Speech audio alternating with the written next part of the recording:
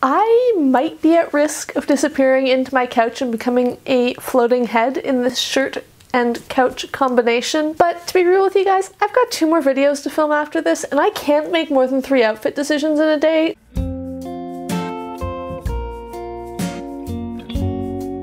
Everyone, Rosie here. Welcome or welcome back to my channel. You guys know the drill. It's a new month. Let's talk about my reading last month. In this case, of course, it's February, so we're gonna do my January wrap up. If any of the reviews slash wrap up stuff in this video is incredibly incomplete or incoherent, blame my past self because I was really lazy this month and I didn't write up my reviews as I read. I waited until yesterday and did it all at once. So like, I don't remember a lot of stuff and I'm just going on my reading notes, which are so unhelpful. Some of the books I talked about today are on my January TBR slash my Bookworms New Year Readathon TBR, which will be up here in case you're interested, but you know what books are going to be on it because they're in this video, so don't blame me if you don't want to check that one out. And then there's also some just like books that I happened to pick up this month that I don't know if were mentioned in that TBR. The first book I read in January was on my TBR and it is The Name of the Rose by Umberto Eco. I read this for the prompt of read a book that intimidates you because I previously tried to read this and failed. This is a mystery novel set in a monastery in the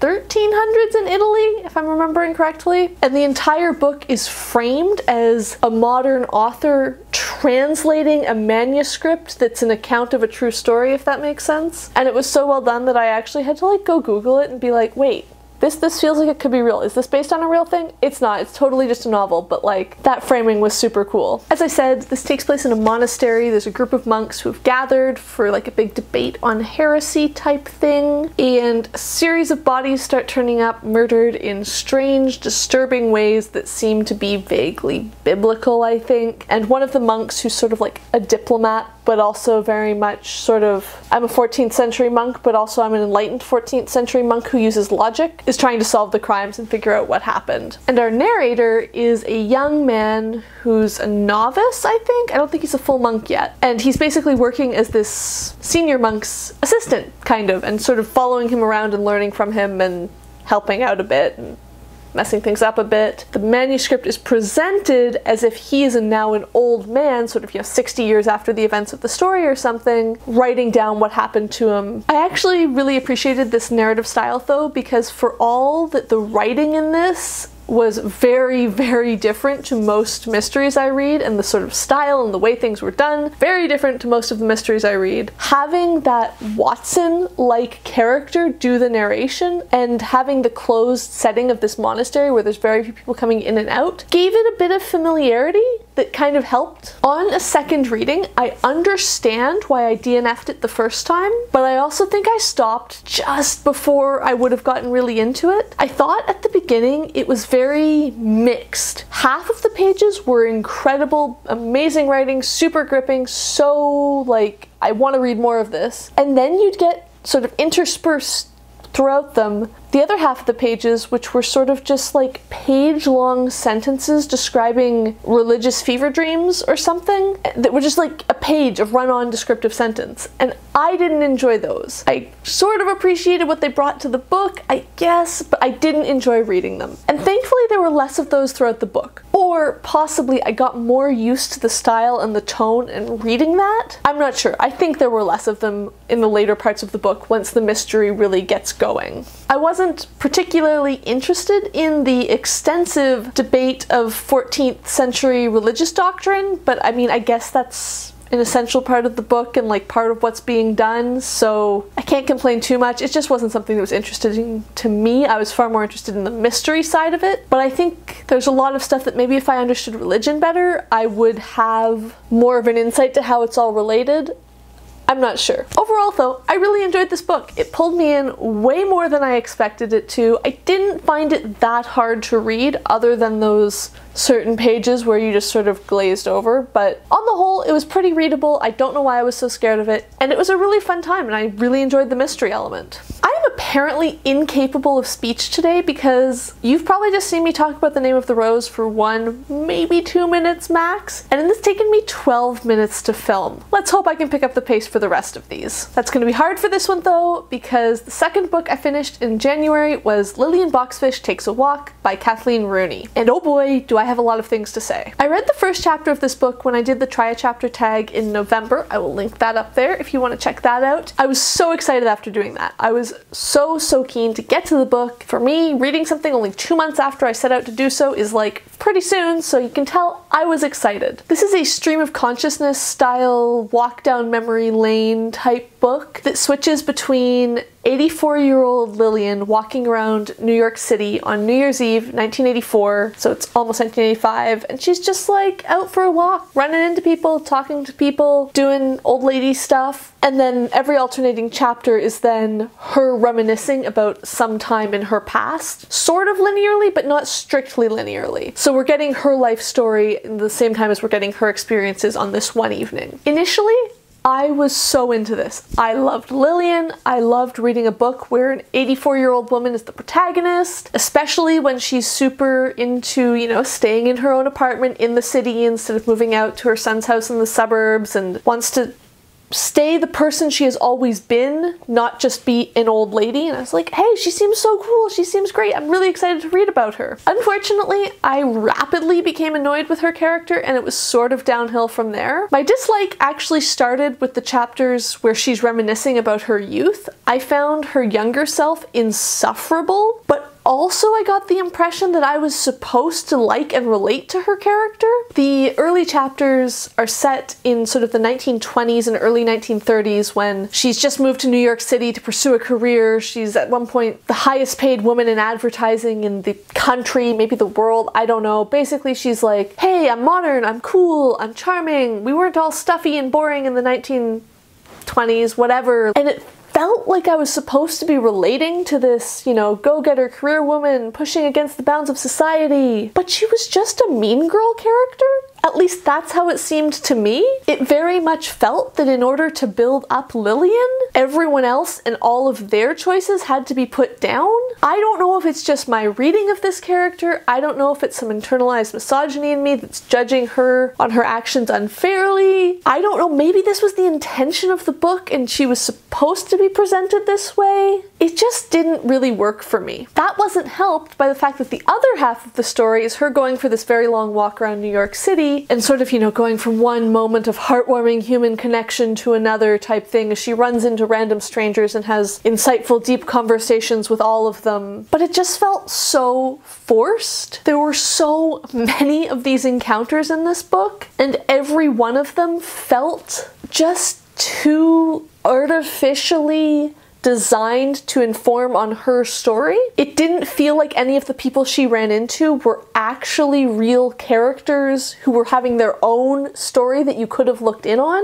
It just felt very much like they all existed to serve her story, which, like, I know it's a story about her, but it felt like she was the only player character wandering around in a world of NPCs and it just felt strange. Not to pile the hate on, but at least half of these random encounters type conversations seemed designed to let Lillian tell both the person she was talking to and the reader how progressive she was. A book about someone who was progressive, you know, an old woman who was progressive in the 80s, like that should be interesting. But I think because all we get is her saying things, we never actually see her doing anything really. And it just didn't work. Nothing annoys me more than when a character who feels like a cardboard cutout really aggressively and sort of goes, You're probably judging me for X you probably think I'm a terrible person for X, or it's like being gay or being an unmarried mother or something like that. And then Lillian gets to come in and go like, oh no, actually I wasn't judging you. I'm perfectly fine with that. It just really bugged me. Basically, this book just didn't work for me. I don't know why. Maybe I didn't get it. Maybe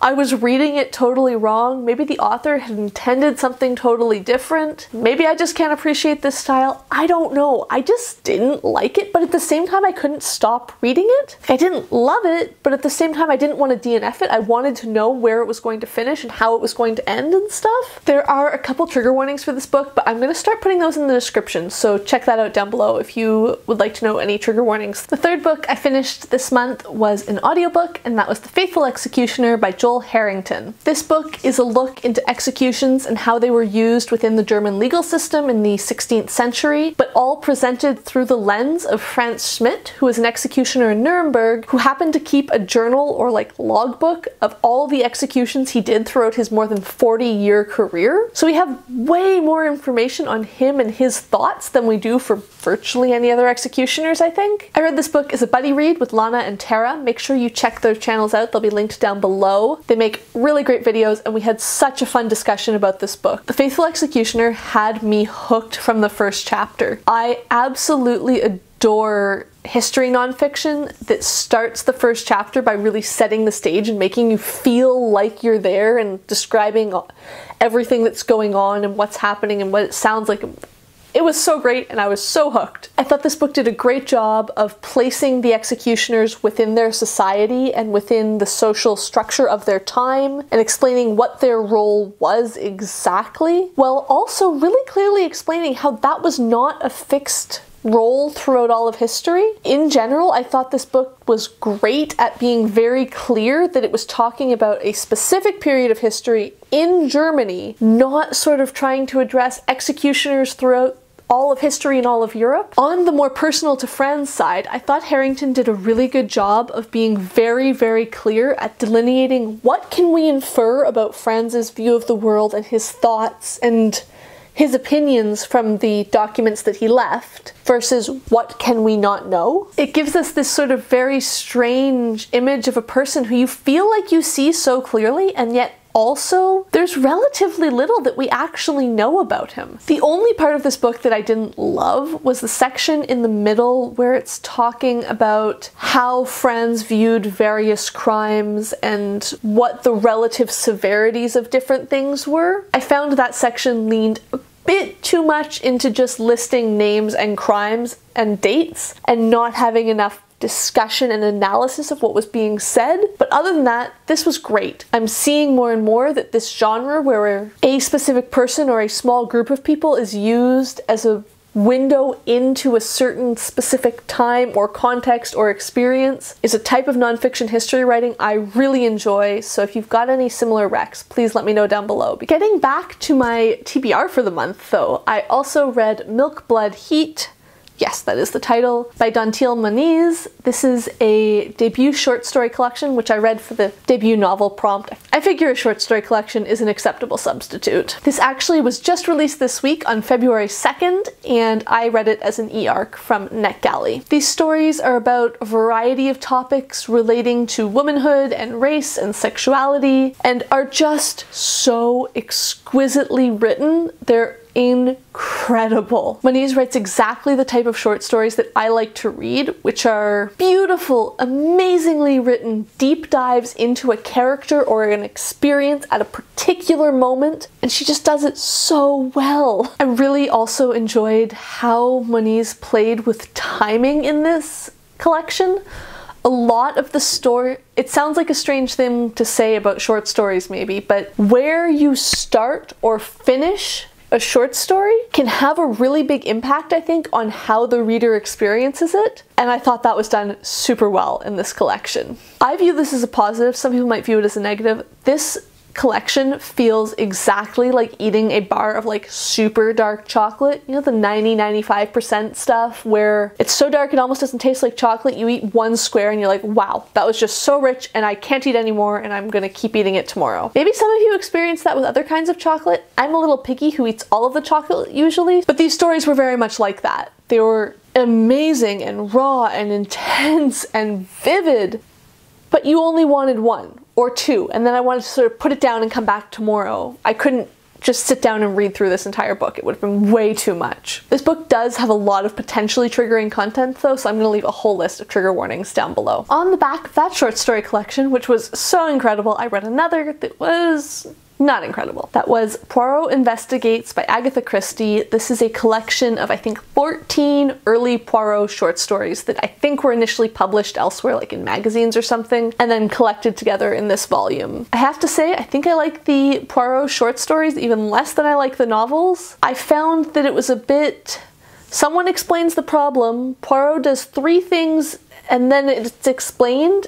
There wasn't any time for the reader to even possibly figure out what he was thinking. Maybe that's just me. Maybe I'm just angry because I can't figure out these stories at all. But I don't think that's the case because I don't usually guess murder mysteries and I enjoy them. So who knows? These also seem to rely far more on racist or sexist stereotypes than I feel like her later stuff that I read did. Not that she ever got super progressive or anything, but I feel like these ones are much more explicitly like, oh, okay, yep, that was the 1920s, alright, than some of her later stuff, which I guess makes sense, but I don't know. Why do I keep reading Poirot when I never seem to enjoy him? And yet, I keep picking them up. I have heard, however, that The Murder of Roger Ackroyd, which is the next one I will read, is really good, and a lot of people say it's their favorite Agatha Christie, so I'm hoping that maybe that one will be a bit better. Maybe it'll start on a bit of an upward climb. The second audiobook that I listened to in January was Persuasion by Jane Austen. This was another one of the books from my Bookworms New Year Readathon TBR, and it is about 27 year old Anne Elliot, who is in Austen Times a spinster. Eight years ago, she broke off an engagement to a man who she loved very much on the advice of a friend and has spent the remaining time sort of just racked with regret. And then this story unrolls when he comes back into her life, sort of by chance. I chose this book to read honestly purely because Emrita of Emrita by the Book was organizing a group read and I trust her judgment 100% and also I have terrible FOMO so I was like, well, I want to pick up another Austen. I loved Emma. I'll read this one. And wow, I am so glad that this is the one Emrita chose. I loved it. At this point, I don't even know which one I liked more, Emma or Persuasion. I just, I love them both, and I don't know how the remaining four Austen novels are possibly going to compete, and maybe I've already read the best ones for me. One of the things I didn't expect to appreciate so much is that I had no idea how this story ended. I mean, I had a rough guess, but honestly, it could have had a very different ending and I wouldn't have been totally surprised. And that was really cool. The only other Austen I've read, as I said, was Emma, and I knew exactly how that one ended. So going through, you could see it building towards that ending. Whereas with this one, I had a much more like, oh my goodness, I'm so, what's gonna happen type feeling. Despite the fact that this one might seem kind of sad or wistful or full of regret, it was also a total delight to read, and I was so invested in the characters' outcomes. Not just Anne's outcome, but like so many of the surrounding characters, I was so invested in them as well. I don't want to say too much about the ending ending because I enjoyed reading it unspoiled and I don't want to ruin that for anyone else, even if it has been out for know, 200 plus years now. But I thought it was a perfect ending. I see how the ending could have gone somewhere else, but for this book, I was so, so happy with how she decided to end it, and I was just like, yes, I'm so happy. The second last book I read in January was Rue Sainte Famille by Charlotte Hussey. This is a poetry collection about I'm not totally sure, to be totally honest. The writing in this was really lovely. It was pretty, it was full of imagery and very evocative and pleasant to read, I didn't feel like I really connected to these poems at all or really knew what they were about. I'm not great at reading poetry, I'm even worse at reviewing it, so I won't do this book any more injustice. However, I doubt that I'm ruining anyone's fave right now because this book I realized when I went to enter it on Goodreads, and then the Storygraph as well, because I'm using both these days, wasn't even searchable by ISBN. Like it has an ISBN, but it wasn't in the database, so I had to manually enter it because apparently no one in the history of Goodreads has ever read and tried to log this book. That was kind of cool. Never entered a book on Goodreads before. And the last book of January was The Age of Wonder by Richard Holmes. I read this for a book I meant to read in 2020 prompt, I think. It is a look at the science and scientists of the Romantic period in the late 1700s to early 1800s, mostly focused on scientists working in England. This is a pretty chunky book, but it was really well divided up. The chapters are long. Most of them took me between an hour and, or two to read, but each chapter follows a specific scientist or scientific discovery. Within each chapter, there's sort of its own mini story arc where you're following that along, while that's also adding to the overall narrative about what was happening. I might be a bit of a broken record for saying this, but I feel like the writing in this was was very narrative feeling. I really got caught up in each story and felt like I was feeling the atmosphere and feeling what was going on. And even though most of the science in this book has either been disproven or has been like a scientific constant for centuries before my birth, I felt like I was excited about each discovery. And I think that's pretty cool. For purely personal focus related reasons, I found this book kind of hard to read at times and it was a bit of a struggle. But then there were other sections where I sat down for like an hour and just got so sucked in. So I think it was mostly a me problem, not the book problem. And I'm really glad to have read it after putting it on so many TBRs. It was a really good book. It was really interesting. Alright guys, those were the books I read in January. I think it's eight in total. I did read everything on my Bookworms New Year's readathon TBR, so that was good. I had a couple others in there as well. I don't know if it was a good start to my reading year or not. I had some books that were really good, but then others were not great, so we'll see. Hopefully February will be even better. I've now been filming this for like an hour hopefully most of that is me sitting here going, I can't speak, what are words? And I'll cut all of that out for you, but hopefully this isn't too long. If you've read any of these, please let me know down below. What did you read in January? I hope it was amazing. As always, if you like this video, please give it a thumbs up. If you would like to see more of my videos, please hit subscribe, and thank you for watching.